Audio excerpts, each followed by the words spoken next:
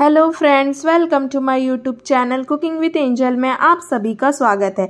आज मैं आप सभी के लिए एक स्नैक्स की यम्मी डिलीशियस रेसिपी लाई हूँ, जो है ब्रेड रोल की रेसिपी इसे बनाने के लिए हमें चाहिए एक बारीक कटा हुआ प्याज, दो उबले हुए मैश्ड आलू और थोड़े से धनिया पत्ता।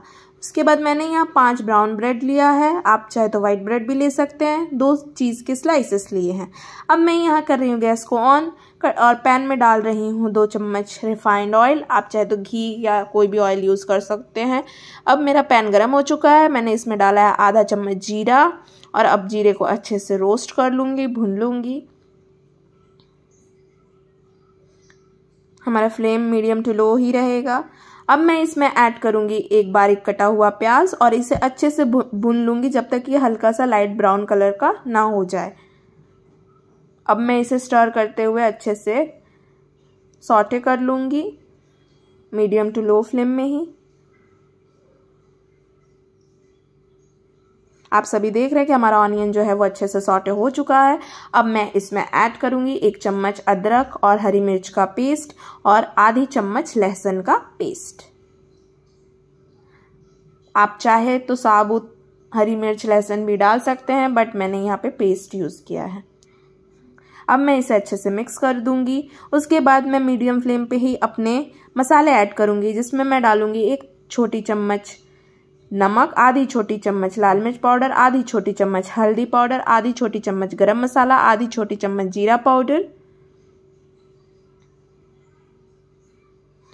और गाइज़ अब मैं अच्छे से मसालों को मिक्स कर लूँगी प्याज के साथ और उसके बाद इसमें ऐड करूँगी दो उबले हुए मैश्ड आलू। अब मैं इसे अच्छे से मिक्स कर लूँगी आलू को मसालों के साथ। ताकि जो हमारा आलू है थोड़ा अच्छे से सॉटे भी हो जाए, अच्छे से भुन भी जाए और अच्छे से मसालों के साथ कोट भी हो जाए मिक्स भी हो जाए। यहाँ पे आप देख रहे हैं मेरा फ्लेम मीडियम टू लो ही है और इस पर मैं सारे आलू को मसालों के साथ अच्छे से मिक्स कर रही हूँ।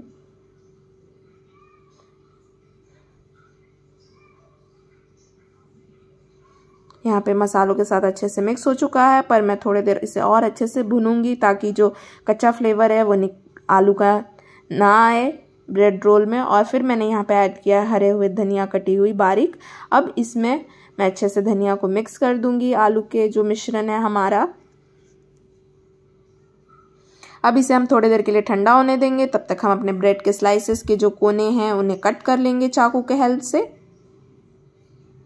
आप यहाँ पे देख रहे हैं कि मैं ब्रेड के सारे कोनों को कट कर लूँगी।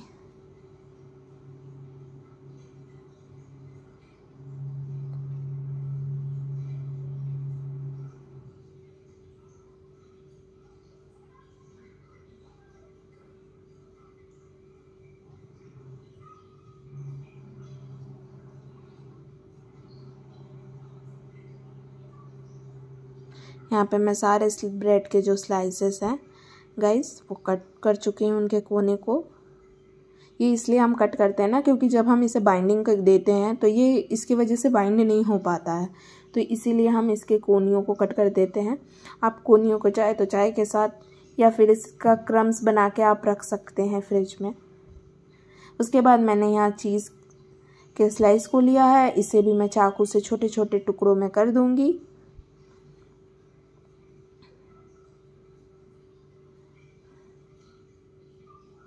आप चाहे तो यहाँ चीज़ का क्यूब लेके उसे भी क्रश करके यूज़ कर सकते हैं। अब मैंने यहाँ प्लेट में एक लिया पानी और दोनों तरफ़ से ब्रेड को पानी में डीप करके फिर मैं इसे स्क्वीज करूँगी अच्छे से। उसके बाद इसमें जो हमारा मिश्रण है पोटैटो का फीलिंग उसे डालूँगी। फिर उसमें दो चीज़ के स्लाइसेस डालूँगी और इसे अच्छे से प्रेस करके मैं बाइंडिंग कर लूँगी। और इसे चारों तरफ़ से हमें स्टिक करना है बाइंड कर, करके प्रेस करके, ताकि जो हमारे आलू है, वो फ्राई करते वक्त बाहर ना निकले।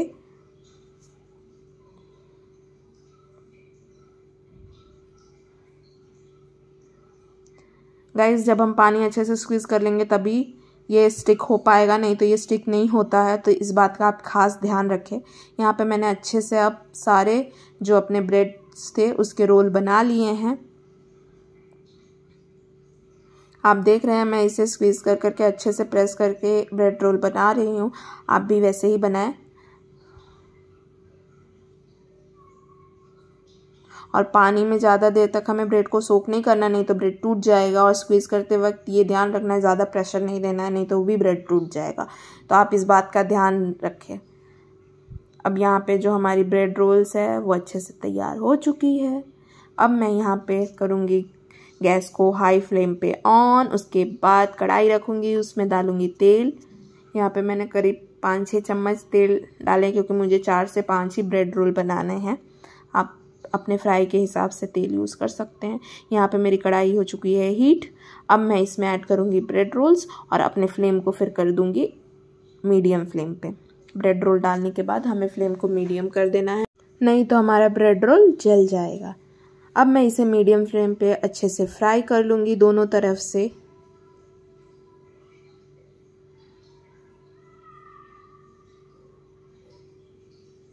गाइज़ यहाँ पे मेरे ब्रेड रोल फ्राई हो चुके हैं। अब मैं इसे प्लेट में निकाल लूँगी और उसके बाद इसको हरी चटनी और टमाटो केचप के साथ सर्व करेंगे। ये बहुत ही क्रिस्पी और बहुत ही चीज़ी था। Thank you for watching my video please like share and subscribe